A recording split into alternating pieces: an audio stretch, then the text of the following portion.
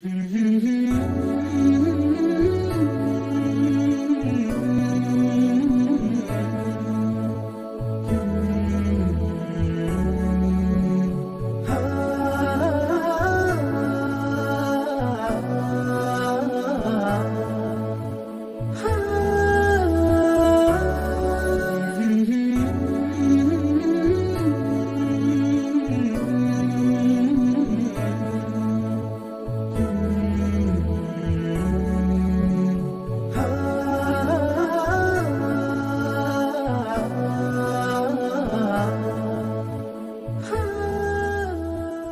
إن مفتاح السعادة في الدنيا والآخرة باتباع السنة والاقتداء برسول الله صلى الله عليه وسلم في جميع حركاته وسكناته حتى في هيئة أكله وقيامه ونومه وكلامه وما يحب وما يكره.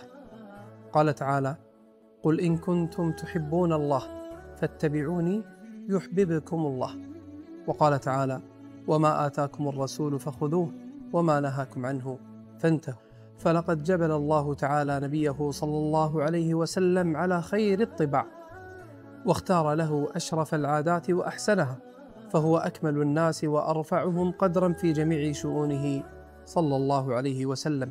ولهذا استحب العلماء التأسي به في جميع أفعاله حتى ما كان يفعله على وجه العادة والجبلة. في برنامجنا خطى الحبيب سوف نتطرق لكل ما يحبه نبينا صلى الله عليه وسلم ونفصل في عدد من الموضوعات. السلام عليكم ورحمة الله وبركاته، بسم الله الرحمن الرحيم، الحمد لله رب العالمين وصلى الله وسلم وبارك على عبده ورسوله نبينا محمد وعلى آله وأصحابه أجمعين، أما بعد فحياكم الله أيها السادة المشاهدين والمشاهدات الكرام في برنامج خطى الحبيب عليه الصلاة والسلام. وفي هذا البرنامج نتكلم عن أشياء كان يحبها النبي صلى الله عليه وسلم وزعناها تقريبا في تسعة محاور وما زلنا في المحور الأول من محاور هذا البرنامج وهو الشخصيات التي كان يحبها النبي صلى الله عليه وسلم من صحابته الكرام. وقد تقدم الحديث في الحلقات الأولى عن الخلفاء الأربعة ثم تكلمنا عن عدد من الشخصيات والآن من اللائق أن نتكلم عن بقية العشرة المبشرين بالجنة. من هؤلاء رضي الله عنهم وأرضاهم سعد بن أبي سعد بن أبي وقاص رضي الله عنه وهو من الصحابة السابقين إلى الإسلام. أحبه النبي صلى الله عليه وسلم لما هو عليه من الخصال التي كانت فيه رضي الله عنه وأرضاه. من ذلك أنه كان قويا في الحرب وأنه كان حسن الرماية وهو أول من رمى بسهم في الإسلام. ولم يقل النبي صلى الله عليه وسلم لأحد قط فداك أبي وأمي إلا رجلين اثنين فقط.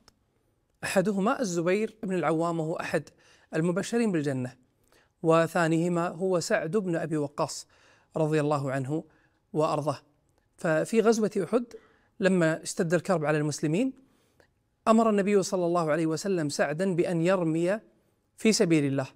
فلما رأى آه، قال له النبي صلى الله عليه وسلم ارم سعد في ذاك أبي وأمي. فيا لها من مزية عظيمة ويا لها من آه، تشرفه من النبي صلى الله عليه وسلم لسعد بن أبي وقاص. فجعله يرمي السهم في غزوة ما بقي فيها إلا قلة من الرجال. وما صمد في صحابة رسول الله عليه الصلاة والسلام إلا نزر يسير. والنبي صلى الله عليه وسلم كان صامدا على رأسهم. وقال في هذا الظرف العصيب النبي صلى الله عليه وسلم لسعد ارمي فداك أبي وأمي. أيضا من الأسباب التي جعلت النبي صلى الله عليه وسلم يحب سعدا أنه كان يحب الله عز وجل كثيرا وقيل في العشرة المبشرين بالجنة أن الله عز وجل بشرهم بالجنة في حياة النبي صلى الله عليه وسلم وقبل وفاتهم هم أن قلوبهم قد امتلأت محبة لله جل وعلا فلم يخش عليهم الفتنة بعد سماعهم هذا الخبر ولن يعودوا على اعقابهم فسيستمرون على طاعة الله إلى إلى أن يلقوا الله تبارك وتعالى. ومن الميزات التي جعلت سعدا محببا إلى قلب النبي صلى الله عليه وسلم أنه كان يستشيره عليه الصلاة والسلام في كثير من الأحيان فاستشاره في الإسلام واستشاره في طاعته لوالدته. وسعد رضي الله عنه كان من أوائل الناس الدخول في هذا الدين العظيم. قال هو عن نفسه رضي الله عنه لقد رأيتني وأنا ثلث الإسلام. ومعنى قوله رضي الله عنه ثلث الإسلام أنه كان في أول ثلث الناس الذين أسلموا وما كان أحد من الناس يسلم في ذلك الوقت إلا قليلا.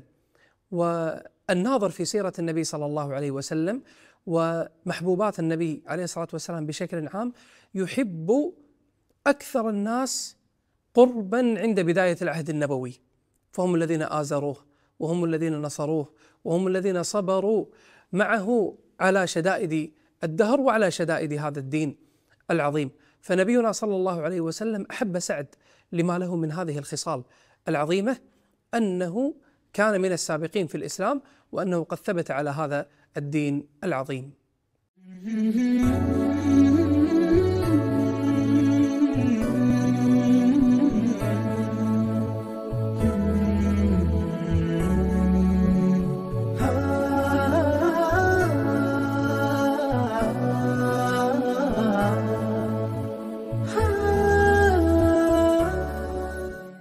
الحمد لله رب العالمين والصلاة والسلام على أشرف الأنبياء والمرسلين نبينا محمد وعلى آله وأصحابه أجمعين أما بعد. سعد بن أبي وقاص رضي الله عنه كان حريصا أن يستفيد من النبي صلى الله عليه وسلم في كل أحيانه. لأجل ذلك أحبه رسول الله صلى الله عليه وسلم فلما حضرته الوفاة قال للنبي صلى الله عليه وسلم إني ذو مال كثير أف أتصدق أفأوصي بجميع مالي؟ فقال له النبي صلى الله عليه وسلم لا. قال فبنصف مالي؟ قال لا. قال فبثلث مالي؟ قال الثلث والثلث كثير. ولم يكن منه أن يختلف عن أمر رسول الله صلى الله عليه وسلم وسمع كلام النبي صلى الله عليه وسلم من حينه. وإن كان هو يريد أن ينفق كل ماله لمن يوصي لهم؟ فكان آخذا بنصيحة النبي صلى الله عليه وسلم وهذا ما جعل منزلته واضحة عند رسول الله صلى الله عليه وسلم. أيضا مما جعله قريبا إلى قلب النبي صلى الله عليه وسلم قصة إسلامه. إذ لما أسلم لم يكن والداه راضيين عن هذا الإسلام، لا سيما أمه رضي الله عنه وأرضاه. فكانت قد أقسمت أن لا يدخل فمها طعام قط. ما لم يرجع سعد عن دينه. والحقيقة هذا موقف عصيب. من من الناس يستطيع أن يبقي أمه بلا طعام مدة طويلة من الزمن؟ وفي الزمن الجاهلي كانت هناك معرة يعر بها بعض الناس. أن يقال فلان قتل أمه أو فلان قاتل أمه. وهي في الحقيقة من أقبح المعرات التي قد يعر بها إنسان. وبقيت هذه المعرة إلى زماننا. يقال فلان قد قتل أمه بعقوقه أي عقها إلى أن ماتت والعياذ بالله. فأرادت أم سعد أن تلحقه هذه المعرة حتى تقول العرب جميعا سعد قتل أمه ووالدته. فكان حزينا رضي الله عنه وأرضاه لحال أمه ولكنه إذا نظر إلى طلب والدته وإذا به طلب يبغضه الله عز وجل وهو أن يعود عن دينه إلى الكفر والعياذ بالله لا سيما أنه أسلم في من؟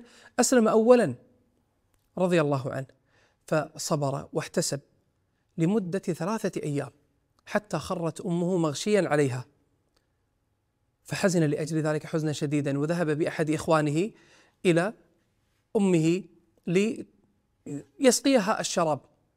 فلما قامت غضبت ودعت الله عليه وقالت ألست تقول إن ربي يأمرني ببر والدتي؟ فقال نعم. قالت فأنت قد عققتني أو كما قالت. المهم أنه صبر على ذلك واحتسبت واحتسب ما وقع من أمه ولم يعققها ولم يؤذيها بلسانه ولم يؤذيها بقوله إنما هي التي فتنته عن دينه لأنه قال ربي الله.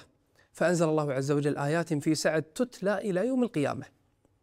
قال الله عز وجل ووصينا الإنسان بوالديه.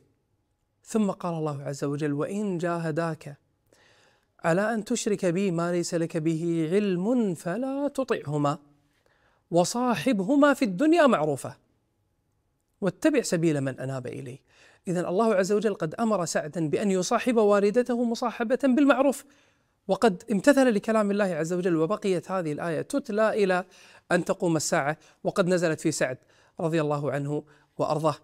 من أجل ذلك أحبه النبي صلى الله عليه وسلم إذ أيده الله عز وجل بالوحي في كتابه بأنه قد صاحب والدته مصاحبة بالمعروف وما أشرك بالله عز وجل وإن أمرته والدته فبقي على هذا الدين القويم صامدا محتسبا لله عز وجل فهذه نفحة الطيب من خطى الحبيب صلى الله عليه وسلم وإلى لقاء آخر والحمد لله رب العالمين وصلى الله وسلم على نبينا محمد وعلى آله وصحبه أجمعين.